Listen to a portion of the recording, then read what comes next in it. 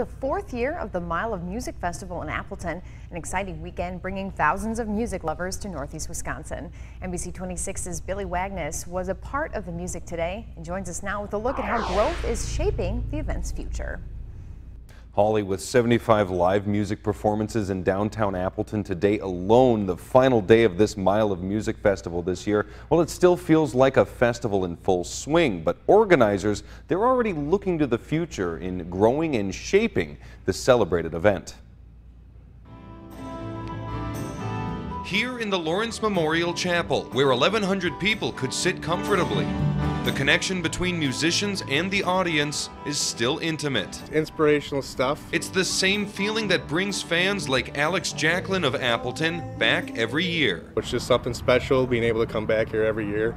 Uh, you know, the people are great, the music is fantastic, and love everything about it. And that music bringing people together. That's really what Mile of Music is all about. Mile of Music director Dave Willems says now in its fourth year, the festival is only growing, quadrupling the number of performances during its four days since 2013. Our hope is to have people be able to access original music and really be able to have a chance to, to interact with it as well.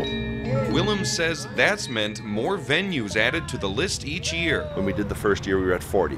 So we've, we've almost doubled that. It's also meant creating a year-round planning process as the free festival's popularity only grows. It's on people's calendars, it's on their radar, certainly for music fans. And while venues this year are reporting maxed out capacities at times, Willems says the future isn't about growth as much as it is fine tuning. We're really going to be focusing on better and more and more music in those venues where people are coming to really enjoy and listen to the music. That's going to be our real focus. Just keep up the good work, guys. We love it. Fine tuning that includes promoting Appleton as a year round music destination. And of course, nothing is set in stone for 2017 yet, but Willems says options like adding another day or even weekend to Mile of Music are part of that ongoing discussion. Keeping you connected, Billy Wagness, NBC 26.